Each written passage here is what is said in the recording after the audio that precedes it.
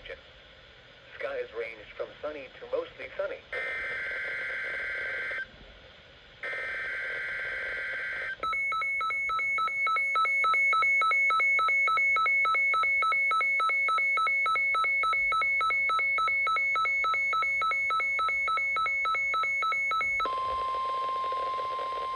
The preceding was a test of the National Weather Service warning alarm tone.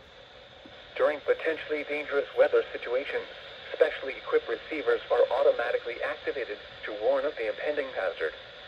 Tests of these receivers by this system are normally conducted by the National Weather Service every Wednesday between 11 a.m. and noon.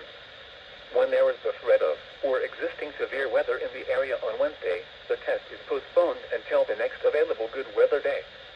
The warning alarm, transmitted over National Weather Service radio stations in north central and northeast Illinois, will be activated for watches and or warnings affecting all counties in north central and northeast Illinois, as well as counties in far northwest Indiana.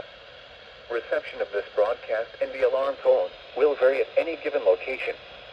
This variability, normally more noticeable at a distance from a given transmitter, will occur even though you are using a good quality receiver in perfect working order.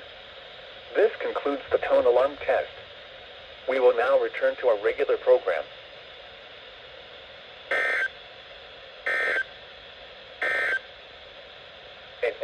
At 11 a.m. elsewhere around the region,